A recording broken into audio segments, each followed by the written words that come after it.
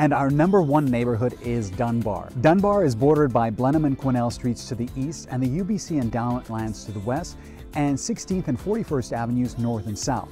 This neighborhood is known for its quiet residential streets with its grand old trees often arching entirely over the roadway. Much like Kerrisdale, at its heart is the Dunbar Village Shopping Center. This neighborhood really feels like it's from another era. The Southlands are still home to horse stables and sprawling mansions overlooking the Fraser River. The Dunbar area sits adjacent to Pacific Spirit Park and UBC. There are many serene parks here in Dunbar as well as the McCleery Golf Course. And those are your top five neighborhoods in Vancouver's West Side.